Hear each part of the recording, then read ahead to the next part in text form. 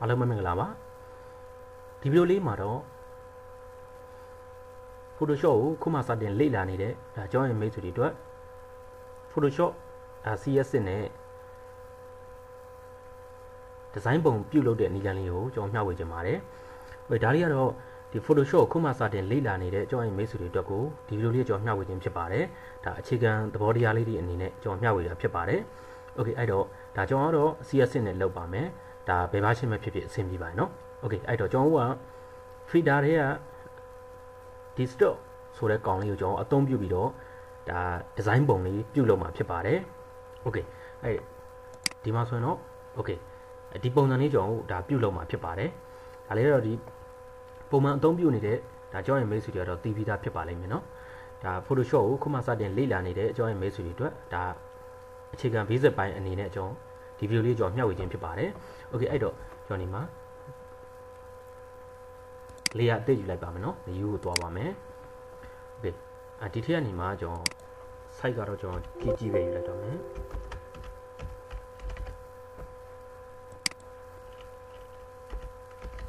okay site ကတော့ကိုကြိုက်တယ်လို့ယူလို့ရပါတယ်နော် okay ဒါဆိုရင်ကျွန်တော် new layer လေးရလာပြီ okay ဒီ new layer လေးရလာပြီဆိုတော့သူ့ကိုတော့တော်လေးတော့ဖြုတ်ထားလိုက်မယ် okay ရပြီဆိုသူ့ကိုကျွန်တော် gradient color လေးတွင်းပါမယ်နော်ဒီမှာ gradient color လေးကျွန်တော်တွန်းပါမယ် gradient color တဲ့ပုံမှာကျွန်တော်ကဒါကိုအဆင်ပြေတဲ့ color လေးကိုချိန်လိုက်ပါနော်ပြီးတော့ဆိုရင်ဒီ color လေးကိုပဲကျွန်တော်ဒါပြင်ထားတာပေါ့နော်သူ့ကိုကျွန်တော်ပြင်ထားတယ်ဒါကတော့ကိုကြိုက်နှစ်သက်တဲ့ပုံစံလေးတွေကိုကျွန်တော်ယူလို့ရပါတယ်နော်ဒီမှာဆိုရင်ရှိတယ်ကိုအဆင်ပြေလောက်တဲ့ပုံစံလေးကိုကျွန်တော်ကအသုံးပြုပါ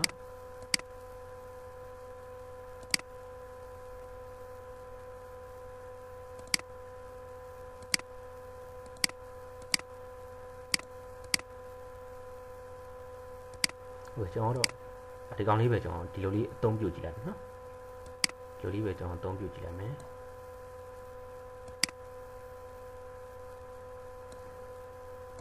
ဒီဘက်ကတော့ဖြူကြောင်ပါနော်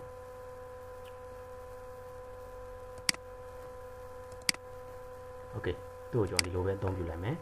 အောက်ကနေပြီးကျွန်တော်ကအလဲတက်တဲ့လောက်ကနေဆွဲချလိုက်မယ်နော်သူ့ဒါတော့အရင်ကြီးများတယ်ဆိုရင်တော့ကျွန်တော်ဒီလောက်ပဲဆွဲချလိုက်မယ်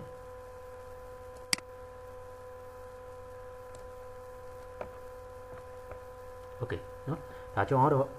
ဒီလောက်ပဲထားလိုက်တော့မယ်ဒါမိတ်ဆွေတွေကကြတော့ဒီအောက်မှာဒီအယောင်ကအရန်ကြီးတောက်လုံးနေဆိုတော့ကျွန်တော်ပြန်ပြီး short ပေးရမယ်ပေါ့နော်ဒီကောင်လေးပြန် short လိုက်မယ်ဆွဲကြည့်မယ်โอเคဒါကျွန်တော်တော့ဒီလိုပဲထားလိုက်တော့မယ်โอเคအဲ့ဒီကနေပြီးကျွန်တော်ဘယ်သွားမလဲဆိုတော့ filter တဲ့ကိုသွားပါမယ်နော် filter တဲ့ကနေပြီးတော့မှကျွန်တော်ဒီမှာ distort ဆိုတဲ့ကောင်လေးတွေကိုသွားပါမယ်နော် သွားပြီးတော့ဒီထဲမှာတော့သူ့ရဲ့ design တွေအများကြီးရှိပါတယ်เนาะ design တွေကိုရွေးချယ်ကြည့်ပါကျွန်တော်တော့ဒီအောက်ဆုံးမှာရှိနေတဲ့ zigzag ဆိုတဲ့ကောင်လေးတွေကိုယူလိုက်မယ်เนาะ okay ဒီကောင်ကြီးကကြတော့ဒီထဲမှာဟိုသူက3ခုရှိတယ်ကျွန်တော်ဒီအောက်မှာရှိနေတဲ့အောက်ဆုံးကကောင်လေးကျွန်တော်ကကျွန်တော်ရွေးထားလိုက်တယ်ဒီမှာဆိုသူ့ရဲ့ပုံစံလေးတွေအများကြီးရှိပါတယ်เนาะကျွန်တော်အောက်ဆုံးကကောင်လေးရွေးပြီးတော့ဒီမှာလိုက်ပြီးချိန်ကြည့်လိုက်မယ်ကြည့်ကြည့်ပါเนาะဒီမှာဆိုရင်အများကြီးရှိတယ် ဒါကိုကြိုက်တယ်လို့လိုက်ပြီးချိန်လို့ရပါတယ်နော်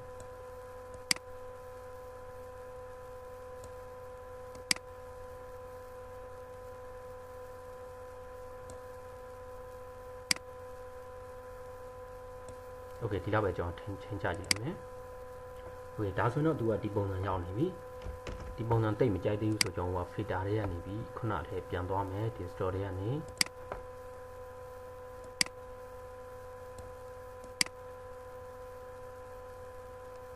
โอเคเนาะတော့ဒီလိုလေးပဲကျွန်တော်ထားလိုက်မယ်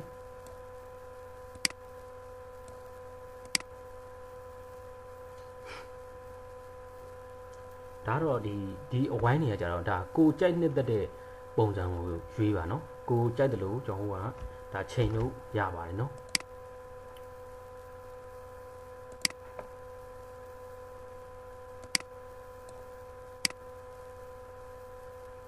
ဒီလိုမျိုးလဲကြိုက် ရတယ်ပေါ့နော်ဒါ short ချလိုက်မယ်ဆိုရင်ချကြည့်လိုက်မယ်โอเคတော့ဒီလိုပဲထားလိုက်တော့မယ်နော်ဒါချိန်လို့ရပါတယ်နော်အဲ့ဒီထဲမှာသူ့ရဲ့ဒါ design တွေအများကြီးရှိပါတယ်โอเคအဲ့တော့ဒီကောင်လေးကိုကျွန်တော်ဒီမှာ new layer လေးယူလိုက်မယ် new layer လေးယူပြီးတော့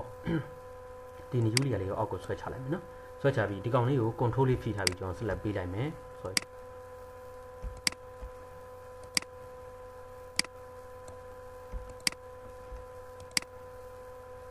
sorry သူ့ကိုကျွန်တော်ကဒီ control bus speed နဲ့ကျွန်တော် color လေးတစ်ခုဖြည့်လိုက်မယ်နော် okay ကာလာလေးဖြည့်ထားပြီးသူ့ကိုအောက်အောက်ကိုဆွဲချမယ်အောက်ကိုဆွဲချပြီးတော့မှ control ကိုဖြည့်ထားပြီးကျွန်တော်ဆက်လက်ပေးလိုက်မယ်နော် sorry သူ့ကိုဆက်လက်မပေးခင်ကိုကျွန်တော်ကဒီအပေါ်က layer ကို control T နဲ့ free transform ယူပြီးတော့ကျွန်တော်အောက်ကိုဆွဲချလိုက်မယ်နော်ဒီလိုလေးပေါ့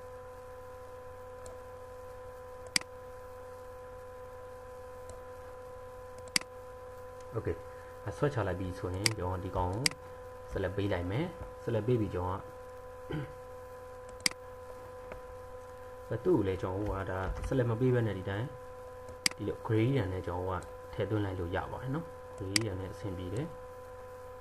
အကယ်၍ကျွန်တော်ကဒီလိုအဆင်မပြေဘူးဆိုရင်ဒီလိုဆက်လက်ပေးထားပြီးတော့ကျွန်တော်ဒီမှာ paint bucket tool လေးကိုယူလိုက်ပါကာလာလေးထဲသွားပြီးတော့ကျွန်တော်ကဒီအရောင်ဖြည့်ခြင်းနဲ့ဆိုဒီအရောင်ပေါ့နော်ဒီအရောင်ကျွန်တော်ယူထားလိုက်မယ် ဒါဆိုရင်ရသွားပြီပေါ့နော်ချလိုက်မယ်โอเคဒါဆိုရင်ကျွန်တော်ရဲ့ဒီပုံလေးကရနေပေါ့နော်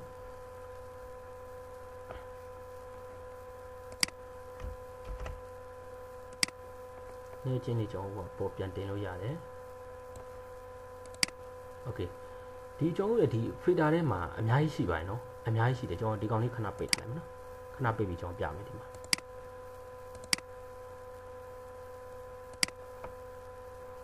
အော် sorry ကျွန်တော်ဒီကောင်လေးပုံလေး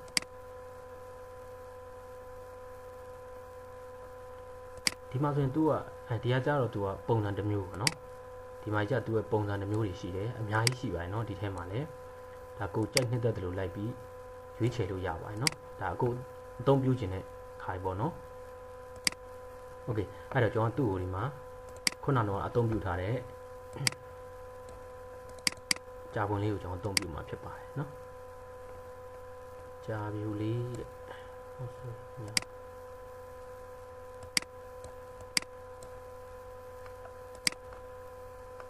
โอเคဒီကြာပွန်လေးကျွန်တော်အသုံးပြုမယ်တို့ကျွန်တော်ဆွဲပြီးချလိုက်မယ်နော်ပေါ်တင်ပါမယ်โอเคနော်တို့ကျွန်တော်အသုံးပြုမှာပါ control T နဲ့ free transform ပေးမယ်ရှစ် order လေးကို free ထားပြီးသူ့ကိုအနေချင်းကျွန်တော်ခြုံလိုက်မယ်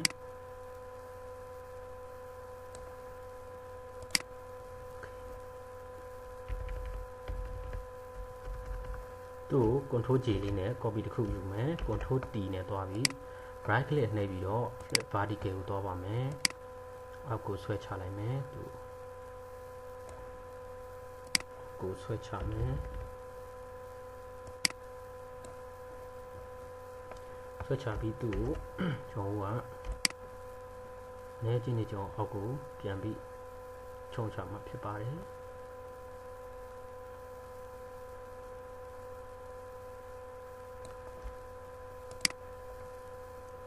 တို့ကျွန်တော်ကဒီမှာ oversee လေး short လိုက်မယ်နော်ဒါပေမဲ့သူက oversee ကြ short တယ်ဒီဒီကကြာကျွန်တော်အောက်ကအရေးဖြစ်တဲ့အတွက်ကြောင့်မလို့ဒီမှာ तू ကရေပုံစံပေါ့နော်ကျွန်တော်ဝိုင်းနေတဲ့ဟာကိုသူ့ကိုလိုက်ပြီးကျွန်တော်ကဒီရေပုံစံကျွန်တော်ကလှိုင်းထည့်ရမယ်နော်လှိုင်းထည့်ဖို့ရတော့ကခုနထဲကိုကျွန်တော်ပြန်သွားပြီးတော့ထည့်လို့ရပါတယ်ဒီမှာဆိုရင်ရွေးကြည့်လိုက်ပါနော်ဒီမှာကိုအဆင်ပြေတဲ့ ပုံစံမျိုးလိုက်ပြီးရွေးကြည့်ပါဒီမှာ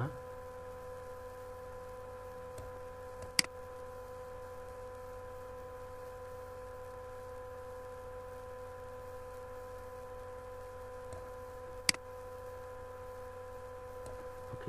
ဒီလိုလေးထားကြည့်လိုက်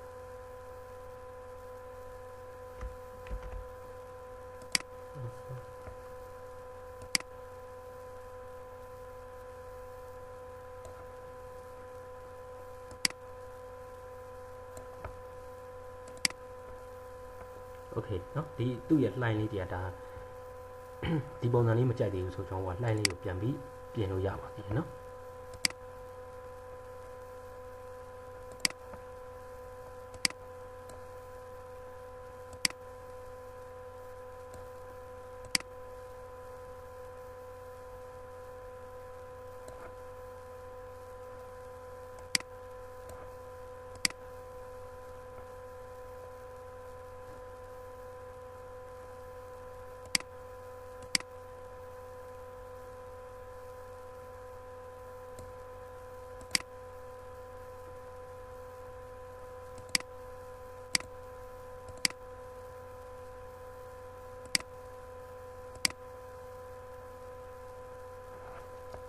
โอเคဒီလောက်ဆိုရင်ပဲတော်တော်အဆင်ပြေပါရဲ့เนาะကျွန်တော်ပုံလေးရသူ့ကိုအောက်ကိုအနည်းချင်းနည်းနည်းလောက်လေးချကြည့်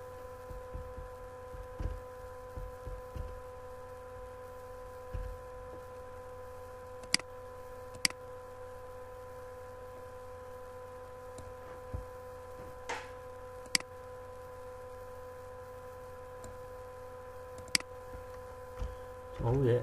ကြာပွင့်ရလဲ နေချင်းကျွန်တော်က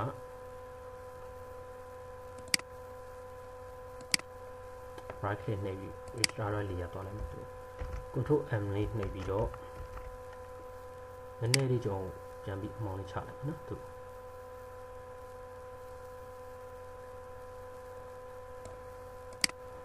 okay ဒါဆိုရင်တော့တော်တော်များများကျွန်တော်ဒါအဆင်ပြေသွားပါပြီနော်ဒီမှာဆိုရင်ဒါကျွန်တော်ဒီအောက်ကကာလာကြတော့အနေချင်းလေးကျွန်တော်က ချော့ထားတယ်ပေါ့နော်ဒါကာလာတော့ဒီကိုအဆင်ပြေတဲ့ပုံစံကိုဒါအသုံးပြုလို့ရပါတယ်နော်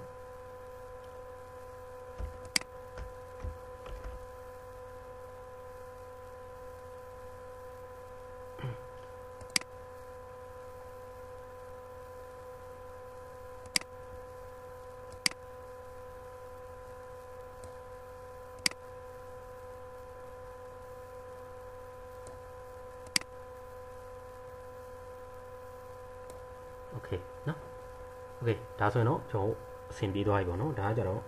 ဒီအပေါ်ပိုင်းဒီမှာじゃကျွန်တော်じゃဒီအဖြူရောင်ဘက်တော်တော်လေးပါတယ်ပေါ့နော်ဒါမိတ်ဆွေတို့ကြတော့ကိုအဆင်ပြေသလိုအသုံးပြုလို့ရပါတယ်နော်โอเคအဲ့ဆိုတော့ဒါဒီဟာလေးကတော့ကျွန်တော်ဒီအခြေခံ visit အနေနဲ့ကျွန်တော်ခုမှစတင်လေ့လာနေတဲ့ကျွန်တော်မိတ်ဆွေတွေအတွက်ကိုဒီလိုလေးကျွန်တော်မျှဝေခြင်းဖြစ်ပါတယ်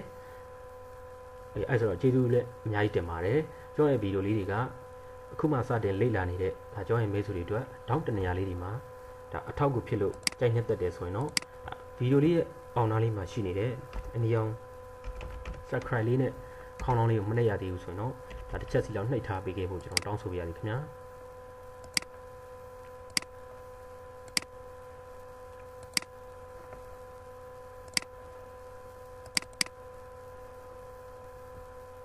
โอเคအဲ့တော့